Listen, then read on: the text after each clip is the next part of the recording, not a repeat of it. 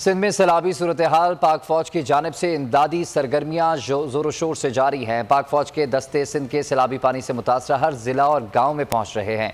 सैलाब से सैलाब से मुतासर अफराद को फौज के जवानों की तरफ़ से खाने पीने की अशिया और राशन फराहम किया जा रहा है। मुतासरीन को आर्मी मेडिकल कोर की तरफ़ से तबी इमदाद भी दी जा रही है।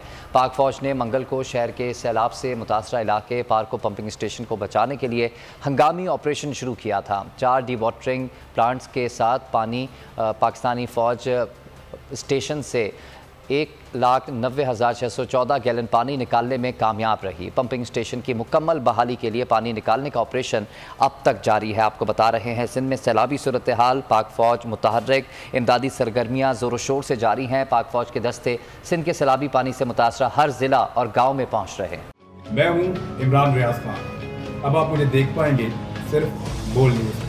इमरान रियाज खान साहब जो है वो बोल फैमिली का हिस्सा बन गए हैं। बड़े अरसे बाद किसी चैनल ने हौसला किया है तो मुझे ऐसा लगता था कि हमें बोलने की इजाज़त नहीं मिलेगी। लेकिन बोल ने डिसाइड किया कि बोलने की इजाज़त वो लेकर देंगे। मुझे बोल की एक चीज़ बहुत अच्छी लगी कि बोल ने कैटेगोरिकली कहा कि जो करना है करो हमने अपना कोई बंदा नहीं निकालना।